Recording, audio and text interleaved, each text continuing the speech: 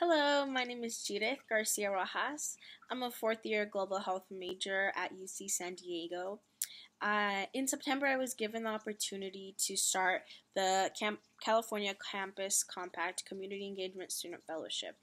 And I did mainly two things during my time as a volunteer at UC San Diego. I worked at the free student run free clinic, and I also was a student health advocate under the Health Promotion Services Department.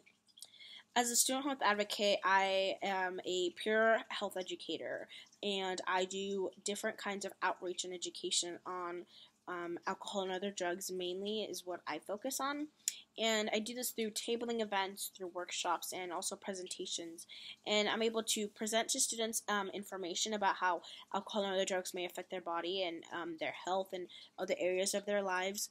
But I can also get the chance to start conversations with students to see where they're at in their college careers and also how how alcohol and other drugs um, can influence them and how if that is something that's um, uh, just a really big influential thing and that's affecting their lives and i can help give them tools um, on how they can keep each other safe and how to keep themselves safe while they are having fun as an interpreter i'm given the opportunity to try and break that language and cultural barrier that can sometimes prevent non-English speaking um, folks from seeking medical attention. And I speak Spanish, and I'm able to work with um, Latinos.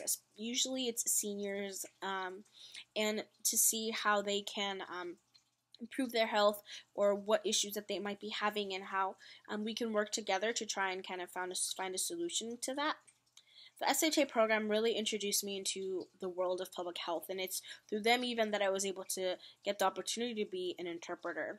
Um, through someone that I knew through the program. And it gave me a really huge sense of belonging. I was able to meet new people on our on the campus, and I've met some just really incredible, humble, incredibly humble and intelligent people, both as my peers volunteering, but also as I'm able to engage with different students on our campus.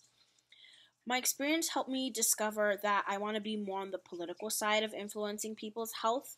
And after seeing so many patients who are sick, who are more sick than they should be because they weren't able to make it to the clinic due to work or um, family obligations, or maybe because they didn't have transportation, I know that I have to prepare myself for a future career in um, health policy and management and being able to um, actually Im- impact their lives in a way that isn't just taking care of them while they're sick.